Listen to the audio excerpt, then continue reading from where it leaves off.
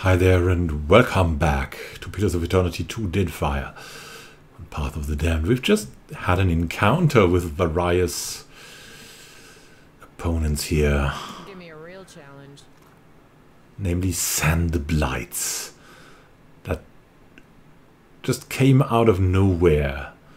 Our new companion, a mother from the Xaurips, has warned us, but we persisted. And now, yeah, What is it? it wasn't as dangerous, but you can see that there's a lot of skeletons lying around here. A lot of primal winds, desert worm parts to find. There's a pistol in a corpse. And something in that skeleton. Look at that. Healing hands. What's that? Let's give that to our priest. Let's have a look at that. Lesser lay on hands. That is what it grants. That is even rhymes. Gloves, gauntlets, and braces of a variety of benefits. Okay. So they're nothing special. But lay on hands, yeah. We'll give it to him. We could give it to someone else, like Christine, but they need to do damage. And actually, Kevava looks pretty good in that thing. I also want something to like that to wear. Maybe another headdress, though. Of course. Very interesting here. The I think it was called the Broken Spare Canyon or something. Need to look around though. This is pretty big. There could be something to find, even though most of it would be maybe generic decoration. Don't know. It still looks fine and finding more. It's not out of the question here. Okay, let's continue. In the spirit of old school, right? you always want to find more. Like that ruined tower. What's in there? The fragment of a fallen keep stands like a monument to ruin and a beacon for plunder. What's there? The remains of a tower lie strewn upon the ground before you. The stone structure seems to have tumbled over during an earthquake. The tower appears abandoned. Not even a corpse remains. Well, we'll search anyways. And find nothing. And find a tattered grimoire. An elementalist grimoire. And find flint and tinder. What's that? Sharp piece of flint to be struck with steel and a small amount of tinder is all that is needed to start a fire in most situations. Interesting. And we've searched every inch, and then we go back through the Isle of the Lost Xaurip, how we've named it. What's that? Beggar of Wifruth from the Príncipi. Hmm. There's Fort Deadlight. And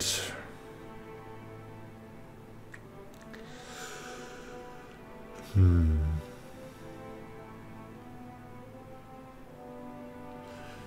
Yeah, we're still on that quest. You see, mapping the archipelago. Discovered an island inhabited by a clan of Xaurips. So, then. Let's see what else we may find here. Maybe a little bit to the west, I don't know. There's a burial site. Beggar Wifruth. Nah, we don't want you, Beggar Wifruth. Good, go away. go away. What's that? There's a burial site, the Osa channel. We'll just have a look. What's that? Come on, we want to land. Yeah, there we go. Let's have a look at the burial site. Huana tribes traditionally heap their dead onto pyres or give their bodies to the deep sea. Mounds like these suggest that Arangas of honor, wealth, and distinction were buried nearby. Seems like you come upon a flight of white steps that descend deep into the earth. Chill air radiates from a dark doorway at the bottom of the stairs. It smells faintly of dust and cold stone. And we find coins, Azatanui shells, and we find rare gems, peridots, and we find nothing else. Let's look at the Osa channel then. As you travel northwest, you discover a broad channel separating you from the flat expanse of a sandy islet. A wooden bridge spans the waterway, easily wide enough to accommodate a cart and horse. A crowd throngs the bridge, an eclectic menagerie of clean-coated Vailians, Aumaua in bright and colourful robes, and even the odd Orlan. Traders? Hopefully. Down the hill, by the water's edge, a small cluster of Aumaua have gathered. Um,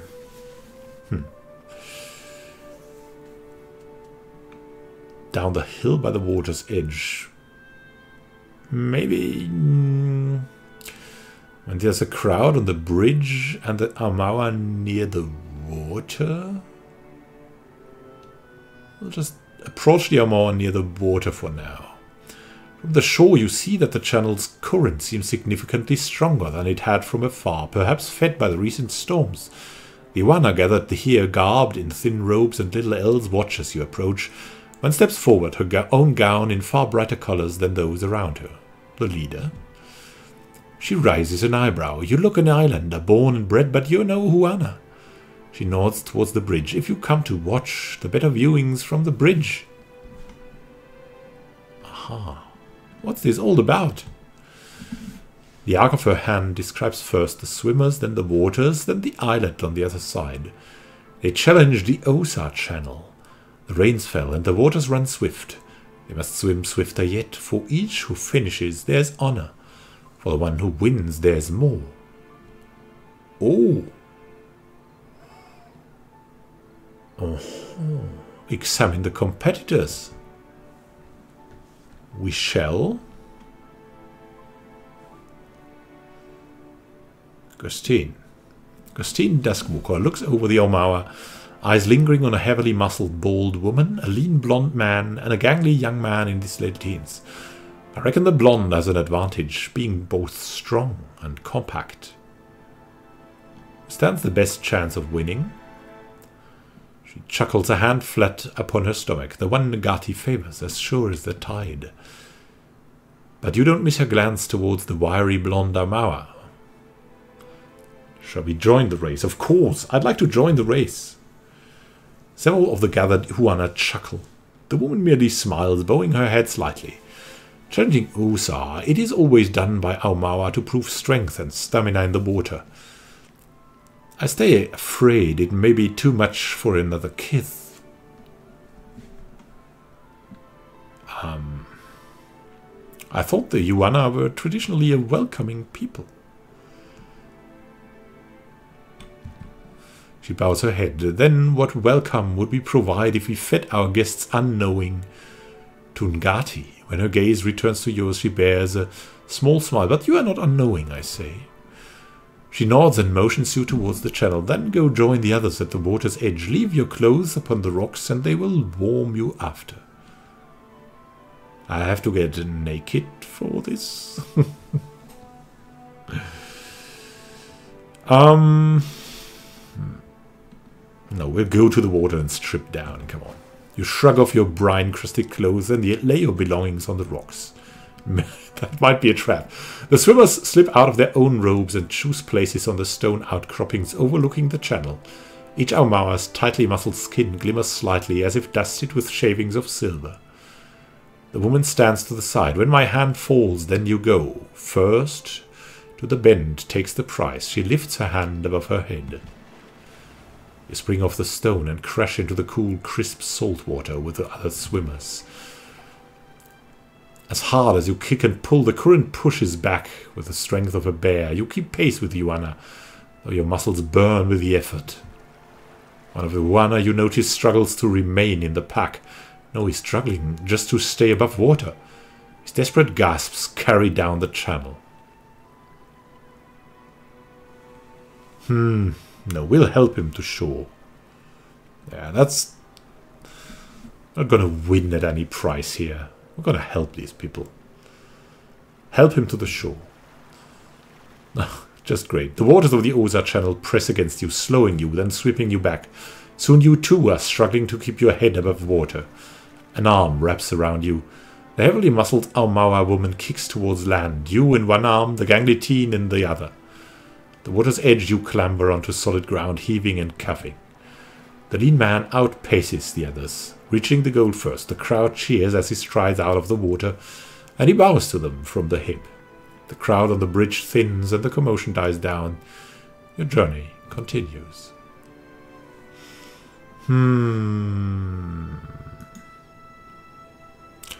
Oh, this small fishing village looks prosperous enough to welcome trade with outsiders and locals alike. Then let's go there and watch. Minus 50%, that's so good. Silverfin gives 2 intellect and 1 crew moral, and Hackfish gives 1 resolve. Water, of course, is not that good. Silverfin, I think we should buy as much Silverfin as we can, and Hackfish is also not bad. Because it's very cheap too. Water? We're nearly out of water, so Let's buy it as well. We can maybe sell too.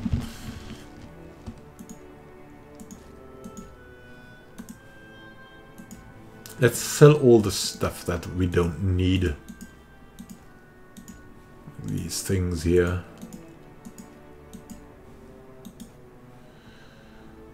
And then some armors. The Huana Cave. Let's trade for now. There we go. The fisherman's hut. Is there more here? There is something here on the coast, but not really. Hmm. Where to go next? What is what is that? What is Dikila? Look, that we have explored, I think. There's another island here. Uh, let's go back onto our ship and sail away. Dream our dream. And be absolutely super careful because we don't want to go too for the deadlight too. Hmm.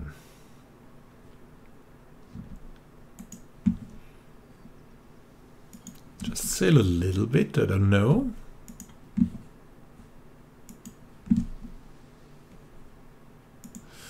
Look, there's a, there's one more island. Even more. Ah, there's something. Fort Deadlight is too hard for us now. Rune powder. And the shipwreck. Huddles in the crushing surf, its splintered beams rising like ribs from the water. Wreck appears abandoned. We explore it and a cannon in surprisingly long, good condition. The Imperial long gun. Woo!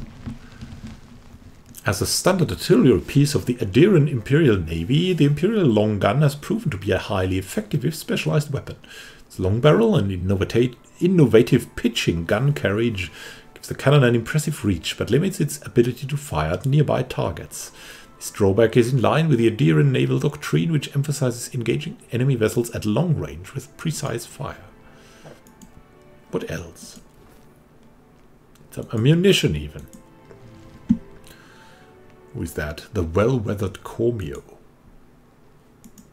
Oh, oh, uh, the steel preacher. This looks like it could be a problem. And there's some kind of problem here as well. I don't know. Uh, this ship leaves us alone. That's good. Oh, there's an island. A burial site. The crew is dehydrated. Ooh, that's not good.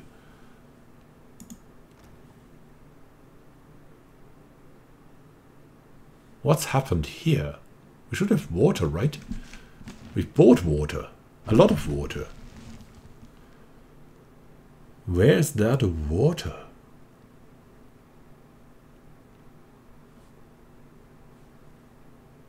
Rum. There's the water.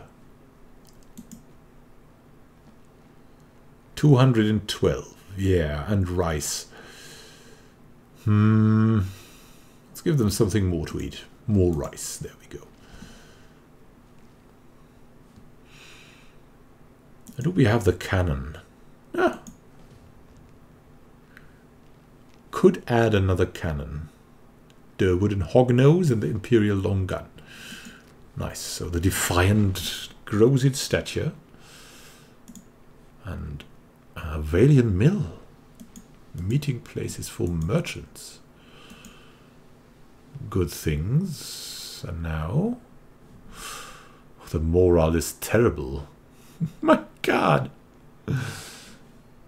Brawls among the crew. Well then, we'll explore this island in the next episode. Thank you for watching and happy gaming to you. This is Immanuel Can, signing out. Have a great time until next time.